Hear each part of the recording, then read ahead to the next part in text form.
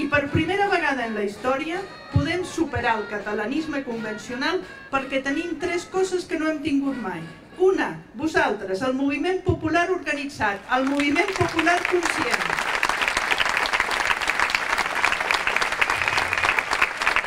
Segona, tenim un en el món institucional a través de l'Assemblea de Municipis per la Independència.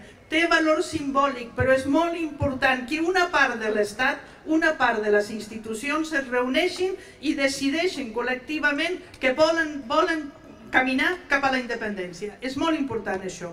I la tercera pota que necessitem, que és la política, és la que va més lenta, és la que li costa més, és la que està més conservadora. Aquesta l'hem d'empènyer. No li hem de permetre que reculi ni mig centímetre, que no ens enredin, que no ens facin perdre el temps. Necessitem els polítics, però els necessitem al davant o al costat nostre, no per enrere. Per tant, aquesta és la feina que hem de fer, arrossegar els polítics cap al nostre objectiu, que és la independència.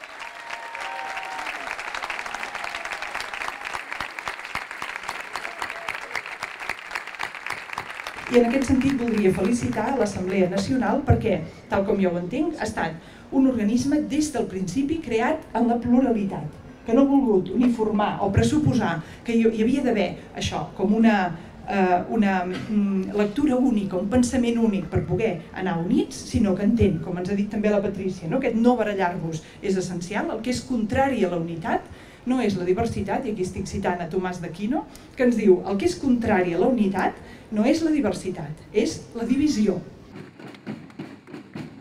L'Assemblea Nacional Catalana fa una crida al poble de Catalunya perquè el dia 11 de setembre surti massivament al carrer. Barcelona ha de ser un clam per la independència.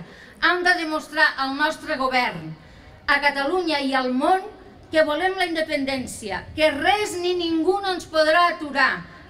Catalunya, nou estat d'Europa. Aquest és el nostre lema no ens aturaran si estem junts i això ho hem de demostrar el dia 11 de setembre a Barcelona.